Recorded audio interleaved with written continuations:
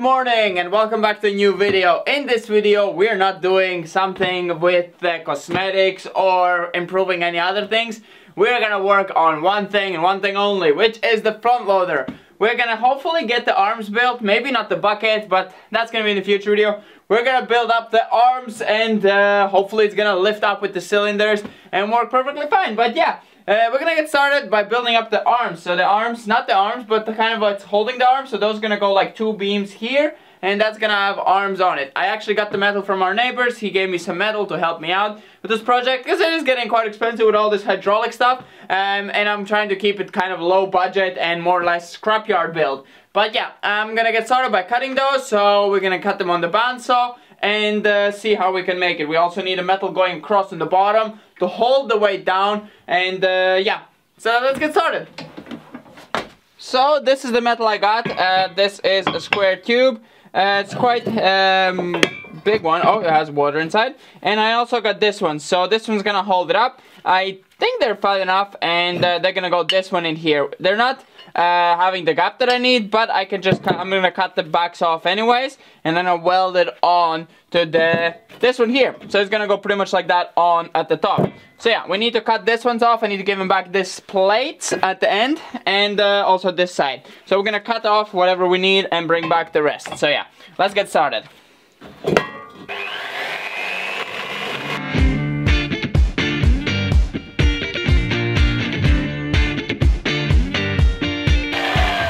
Saw is amazing. Cuts so nice and straight.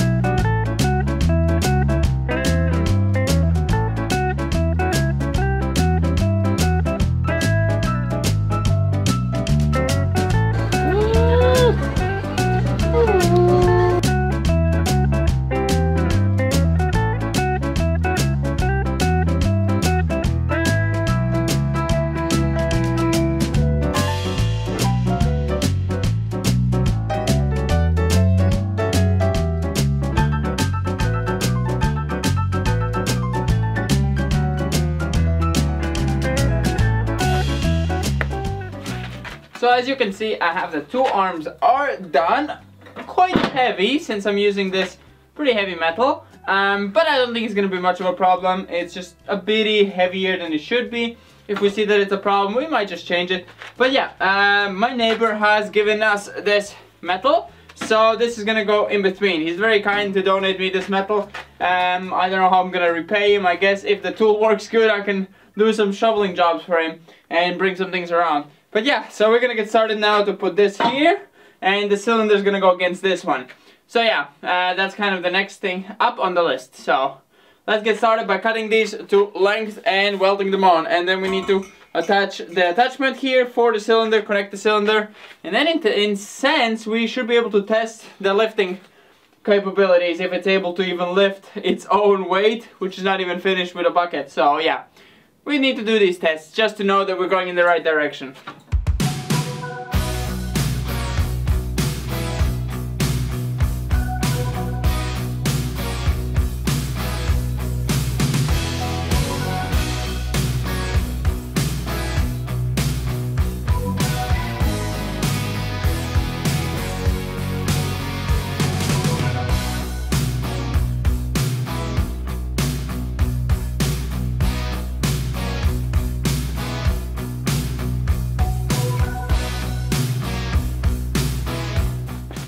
If you could understood from the last clips that I showed there, I installed an on-off switch. So now we have an actual switch to turn the engine on and off. And uh, yeah, uh, let's start it and uh, hopefully it's able to lift its own weight. So yeah, let's give it a try. Turn the switch on, choke, and... And let's see if it lifts.